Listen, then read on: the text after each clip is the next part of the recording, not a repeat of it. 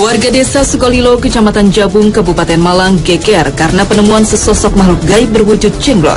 Warga yang penasaran langsung berbondong-bondong datang ke rumah Nikmatus Solihah untuk melihat langsung sosok makhluk gaib tersebut. Jenglot penemuan warga ini berbentuk manusia kerdil, berambut panjang dengan taring dan berkuku panjang.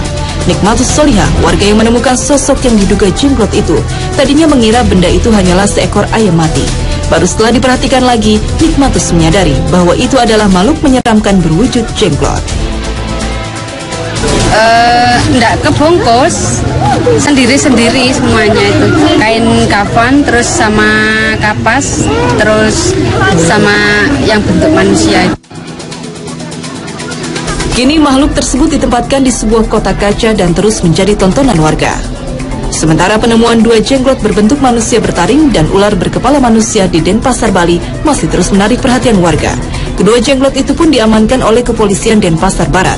Dari hasil pengamatan luar, polisi menduga benda tersebut bukanlah makhluk gaib, namun hanyalah sebuah karya seni.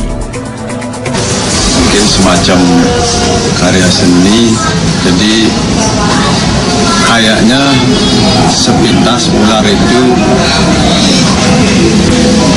hasil pengamatan sementara dari atas dan ke bawah seperti disambung. Jadi kalau itu karya seni dan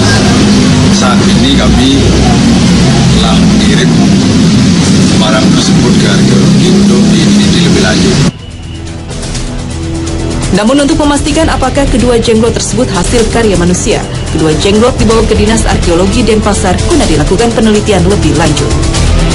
Penemuan jenglot atau makhluk mini dengan tampang menyeramkan memang kerap menggemparkan warga.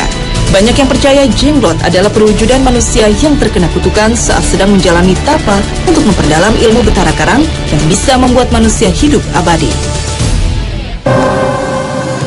jadi tidak Tak jarang pemilik percaya ilmu yang ada pada jenglot akan bisa membuatnya hidup abadi.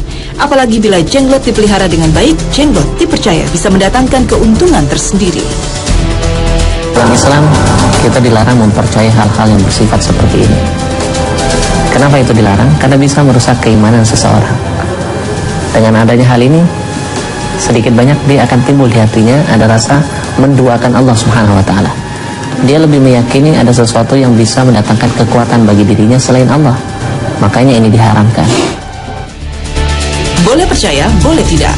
Yang jelas, jangan sampai rasa percaya terhadap sebuah benda justru membutakan manusia dengan realita kehidupan yang sebenarnya. Tim Liputan Trans 7